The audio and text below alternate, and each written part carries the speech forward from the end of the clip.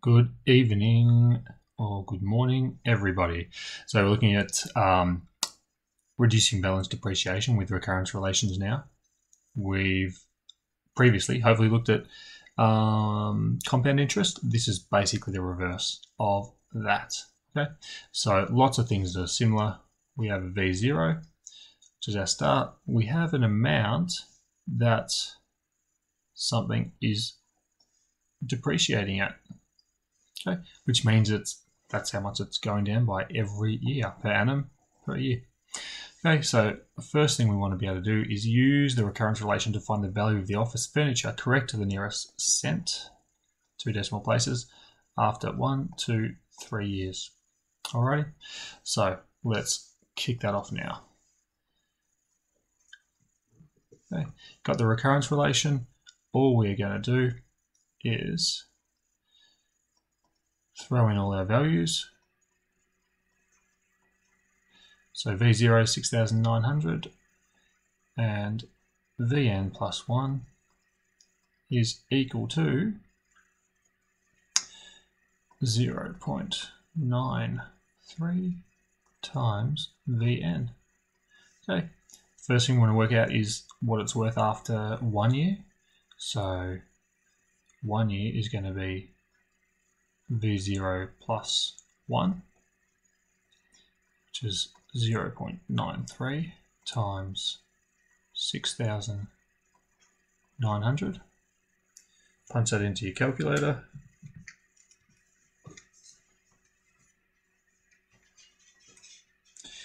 And V1 is equal to 6,400 and 17. So you'll see this time from the original figure to our answer, we've dropped. So that has gone down effectively uh, 7%. All right, hence the 7% there. All right, V1. So V2 is going to be V1, the figure we just worked out, plus one more iteration, so 0.93 times $6,417.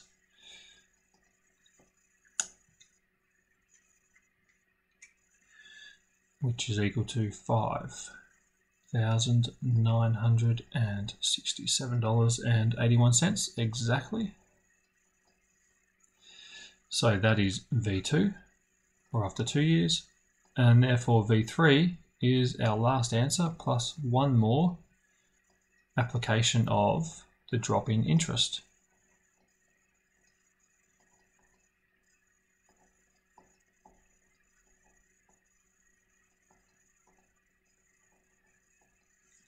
Okay.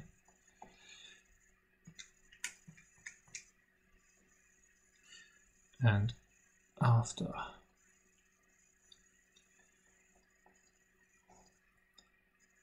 Oops. Wrong button. After that, we get five, five, five, zero point zero six to the nearest cent. Okay, so after three years,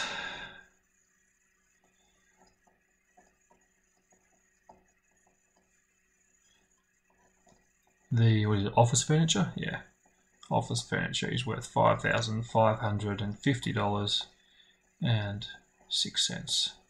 Okay, determine when the value for the furniture value of the investment will be first less than five thousand dollars.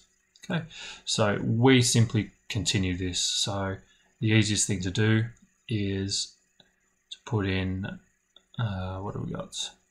Six thousand 900. This is part B. 6,900. Uh, on your calculator, hit XE or equals, depending on if you're using a CAS, etc. So 6,900 equals. Then you're going to multiply that answer by 0.93, the rate of change.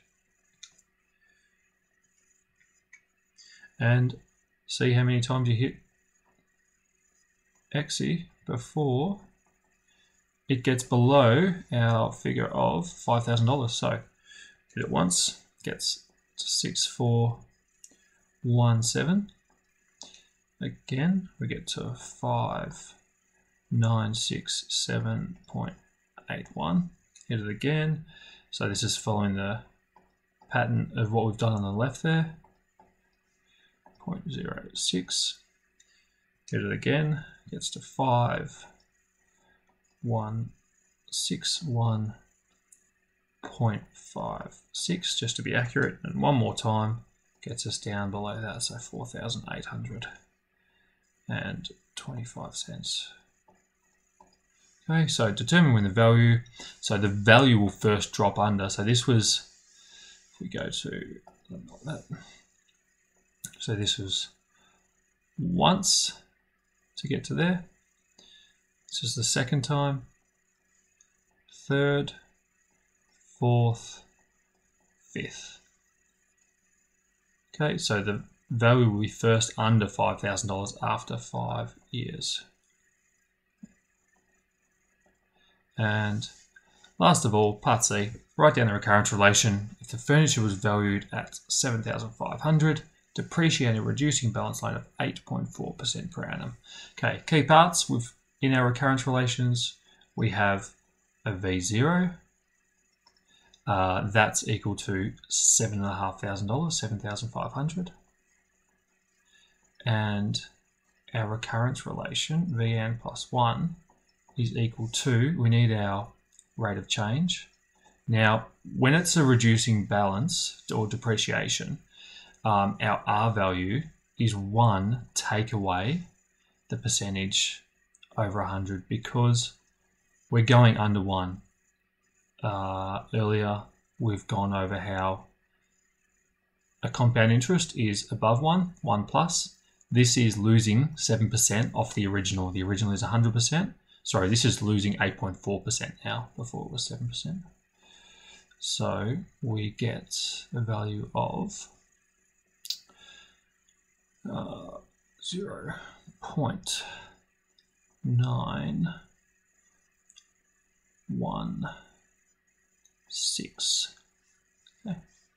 So our R 0 0.916 times Vn. And there's our recurrence relation. So remember your key, key parts to it, having V0 there, your R value should be under 1. Otherwise, you know you're wrong because it's going to go up in value, not down. Okay, and that is always just Vn uh, because we're always using V0 or whatever the previous value is to build our recurrence relation. Okay, hope that helps in your uh, path along financial maths.